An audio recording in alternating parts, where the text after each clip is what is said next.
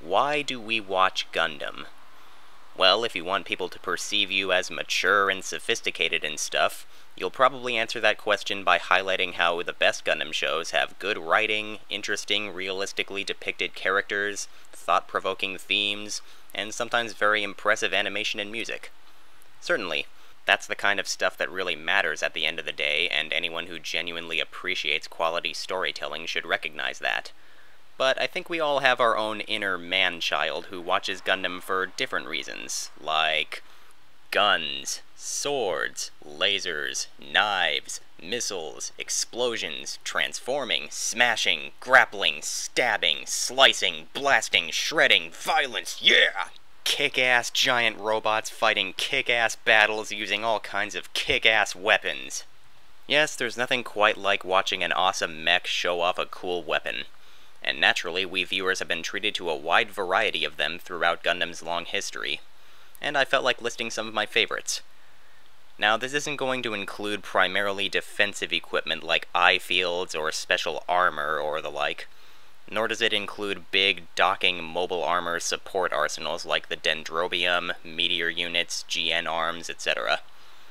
And lastly, I'm not including any elaborate special abilities whose applications or intended purposes go beyond those of a weapon of war, which is primarily just a tool meant for inflicting damage. So no Psycho Frame, no GN Particle Burst, no Age System, no Mirage Colloid, no DG cells, you get the picture. And now, my top 15 favorite mobile suit weapons. Number 15. The Moonlight Butterfly, used by the Turn A Gundam and Turn X. I know, I know, probably the most destructive weapon in all of Gundam, and I put it on the bottom of the list. Obviously, this list isn't ordered in terms of most powerful or practical weapons, just my favorites in whatever order I want. The Moonlight Butterfly is actually pretty simple for how great its capacity for destruction is. It's a big, colorful spread of nanomachines that can reduce all technology across the planet to dust. Kind of interesting to see such a devastating attack visualized by something so pretty and coming from a source as unimposing as the Turn A Gundam. Nevertheless, this weapon is truly devastating. Number 14. The Divider, used by Gundam X Divider. As much as I love the satellite cannons used by the original Gundam X and Double X, I'm a sucker for the more stylish and gimmicky Divider. It functions as a shield, a flight-enabling backpack, and can open up and fire a long row of beams. It's excellent for extra defense, mobility, and offense, and it's just all around cool. Number 13. The Gerbera Straight, used by Gundam Astray Red Frame. A solid katana that pilot slash mechanic Lowe Guele prefers to use over energy-consuming beam sabers. But it's hardly a downgrade, as it's extremely sharp, sharp enough to cleave solid rock with ease, and from what I understand, has a beam-resistant coating, so sword fights with beam blade-wielding foes are not out of the question. Not much else to say, except it's a simple but awesome weapon that lends its wielder a lot of extra style. Number 12. The Gatling Shield, used by Gouf Custom and Gouf Flight Type. In real life, of course, machine guns, Gatling guns, and the like are nothing to sneeze at, but in Gundam, they're so commonplace and low-tech compared to beam weaponry that it takes a little more to make them impressive. What this one has going for it is just how freaking badass it looks. How much more badass it makes an already badass mobile suit look. It's huge and imposing, and it's also pretty neat how it's not just a big Gatling gun, but a big Gatling gun hooked into a shield, which also holsters the sword, and under the shield is a smaller machine gun for the Gouf to use after it purges the empty Gatling gun. Gouf Gatling Shield. It's mostly just an awesome looking weapon, but that's awesome enough for me. Number 11. The Snake Sword, used by G. Zephos. I kind of want to cheat a little and say this weapon shares its spot on the list with the far more popular heat rods used by Gundam Epyon and Tallgeese 3, since they are so much alike glowing, segmented, sharp whips that once again immediately make the wielding mobile suit look extra hardcore. I guess I wanted to spotlight the G Zephos' version of this weapon because, one, it's a pirate MS, and two, I really like how it can straighten out and lock, going from a whip to a solid sword if need be. Whichever wielding MS you prefer, these heating up whip type weapons will always kick ass. Number 10.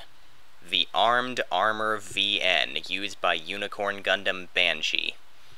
When it's closed up, it can function as sort of an armored boxing glove for smashing. That's fun and all, but when it opens up, you've got four big menacing claws. They have psycho frames built in, and some kind of vibration effect that enables them to shred enemies much more brutally than the usual melee attacks. It's a very beastly weapon and a perfect fit for a mobile suit like the Banshee. Number 9. The GN Big Cannons used by Raphael Gundam. As the name suggests, these are big cannons, which can fire copious beam blasts. But they're not limited to only shooting straight ahead of the Gundam, since they can detach and fly around like funnels, or GN fangs in the 00 universe. And if big, powerful beam cannons that can maneuver on their own and attack from any direction weren't enough, they're also giant claws. These babies can blast you, outnumber you, ram into you, crush you, or just impress you with how cool they are. Number 8 the shields used by the full armor slash awakened Unicorn Gundam. They're of course great for defense with built-in I-fields and all, but when the Unicorn glows green, it can use the shield's built-in psycho frames to move them like funnels. And of course, they have Gundam Heavyarms style double Gatling guns. Beam Gatling guns, even. And they look awesome whether swimming through space or mounted on the Unicorn's arms cool looking, versatile weapons that were used to great effect. Number 7. The Zanbuster, used by the Crossbone Gundams. I feel like I should give a shout out to some of the other awesome Crossbone Gundam weapons, like the Muramasa Blaster, the Peacock Smasher, the Shot Lancer, the Beam Brands, those Skull I-Field boxing gloves, to name just a few.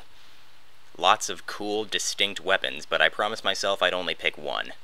And I went with the Zanbuster because I think it's a perfect representation of how pirate-styled and multifaceted the Crossbone Gundams are overall. As the Zanbuster, it's a fancy-looking beam rifle, but split it in two and you get a piratey pistol called a Beam Buster, and a cutlass called a Beam Zanber with a blade I just love. The Zanbuster, whether we're talking the combined rifle, the pistol, or the sword, no matter what, you've got a stylish, handy dealer of whoop-ass. Number 6. The Wings of Light, used by the Victory 2 Gundam and F-99 Record Breaker. These pretty pink energy wings are not just for show. Apparently they put all other means of propulsion to shame, as we see in Crossbone Gundam Steel 7, they're the only kind of tech that can get our heroes from Earth to freaking Jupiter in time to stop the firing of a Jovian colony laser. They can also be used as beam blades or shields, enormous ones if necessary. They may not be civilization decimating nanomachines, but like the Moonlight Butterfly, the Wings of Light can wreak lots of havoc and look very graceful and radiant while doing it. Number 5. Remote funnel type weapons in general. Usually relatively small, equipped with their own beam guns, and launch off of the wielding mobile suit's body and zoom around, controlled by either a special pilot's psychic multitasking powers or some kind of computer support. The GN big cannons and full armor unicorn shields do fall under this category too, but they're bigger and more distinct and multi-purposed, so I wanted to give them their own spots. In general, though, funnels, bits, dragoons, GN fangs, GN shield bits, and rifle bits, sea funnels, particle bits, at their best, they all function as small, speedy, hard to dodge while shooting back against overwhelming mini swarms that most grunts have little hope against. And even if you're a new type, or one of the several alternate universes new type equivalents, with the expanded awareness needed to fight funnel type weapons or control your own, they're still likely to cause you some damage. A challenging brand of weapon that's featured in almost every Gundam series in some form. And why not? They're that awesome. Number 4. Anti-ship swords, used by several Cosmic Era mobile suits. Long, solid swords with beam edges. It's so simple, yet so sweet-looking and effective. Retaining the ability to cut enemies that your standard beam saber has, but with more substance, obviously, and therefore more weight to its attacks. More energy efficient and heavy hitting than a beam saber, and more wieldy than a buster sword. And they just look so darn badass, especially when the MS is dual wielding. Threatening right from the get go and responsible for several of the Seed Universe's more memorable kills and MS destructions, anti ship swords are not to be taken lightly. Number 3. The Tactical Arms, used by Gundam Astray Blue Frame 2nd L. A big, big sword that I love the design of. It would already scream, I'm an ass kicker if it were just the sword, but it also transforms, and I'm a sucker for multi-purpose mech weapons. It has a thruster backpack mode, a Gatling gun mode, and the Blue Frame second revised version can attach the two halves of the blade to the Gundam's forearms and use them as dual half-solid, half-beam swords. And Red Frame Kai has a version with several more transformations, the coolest one being a sweet giant bow and arrow. The tactical arms. Powerful, adaptable, just all around excellent. Number 2. The GN swords, used by Gundam Exia and 00 Raiser. Again, I love gimmicky, multi-purpose weapons, especially swords. Exia's GN Sword and 00's GN Sword 3 are arm-mounted beam guns with blades that flip forward or back depending on whether it's time to shoot or slice. I especially love the blades that have the special green edges, which make them look even more distinct and are apparently a refined improvement, able to cut through enemy armor with even more ease. But the less fancy original GN sword is still pretty badass. Hell, it's badass even with a chunk of the blade broken off. The GN sword is highly effective, sharp looking, pun intended, and in my opinion one of the most, once again, badass weapons in Gundam. Number 1. Beam Sabers in general. Used by too many mobile suits to name. Hell, most mobile suits use some kind of beam blade in their arsenal, be they sabers, larger swords, tomahawks, etc., and I'm counting those too as an extension, I guess. Beam sabers are everywhere in Gundam, and admittedly they're not as elaborate, detailed, and instantly impressive looking as most of the other picks on this list are. But even though we take them so much for granted, the very fact that they've become such a ubiquitous part of Gundam battles kind of makes them the greatest weapon in Gundam. We're so used to them, and nowadays they're rarely actually presented as being among the very top weapons, but let's take a step back. A beam saber is a handle-shaped device that generates a long, concentrated blade of hot, radiating energy that can cut swiftly through even the thickest of armor like butter. That will never cease to be awesome. A kind of awesome we don't always stop to acknowledge anymore because it's so commonplace, but in that way it's actually sort of transcended. Beam sabers don't need to be intricately designed weapons that have snazzy gimmicks. Beam sabers can be the gimmick that makes the weapon or even the whole mobile suit ten times more awesome. How do you make the O and Seravee Gundam's melee capabilities more interesting? Give them extra arms, each with an extra beam saber. Elevate your mobile suit's coolness by giving it shoulder binder mounted beam sabers, foot mounted beam sabers, Got mobile armors that pack tons of long-range power but need a close-range complement? Jumbo beam sabers for cleaving battleships in half. How can you make a massive beam shot more amazing? Use it as a massive beam saber that can cut through the surface of a moon.